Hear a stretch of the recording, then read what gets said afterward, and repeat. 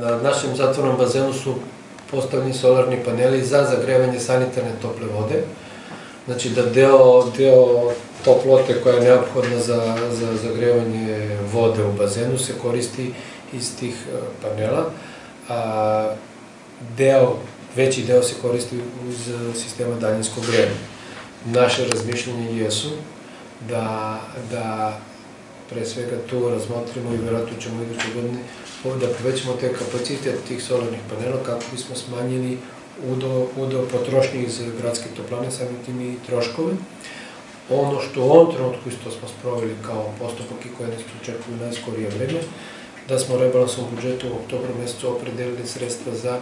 ugradnju postrojenja za pripremu sanitarne tople vode u dva objekta, u objektu vrtića Lane i u objektu sportske hale Kej. Jer smo mi prepoznali da na tom nivou, na nivou proizvodnje i potrošnje sanitarne tople vode, dva, ova dva objekta su značajni potrošači vrtić Lane zato što se tu pored redovnih grupa koje imaju potrošnju sanitarne vode kako imaju, nalazi i centralna kuhinja